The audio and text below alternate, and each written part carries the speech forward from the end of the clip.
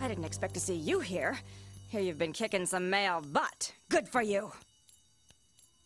Keep up the good work. Susan B. Anthony coins, huh? Do you even know who she was? Uh, she was, uh, uh... Once upon a time, women weren't allowed to do much of anything. Susan B. Anthony knew that that was wrong. In 1872, she broke the law by voting. And even though she was found guilty, the feds wanted to go easy on her. Because she was a girl! And not send her to jail. Uh, well, you know, she was this, um, well, man. Girls should... Oh, man. Susan B. Anthony didn't want special treatment. She wanted to be treated equally. She demanded that she be sent to jail just like any man who broke the law.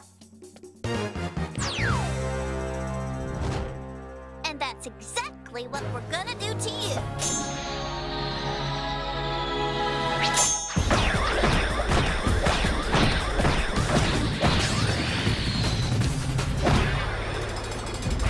You can't do this to me!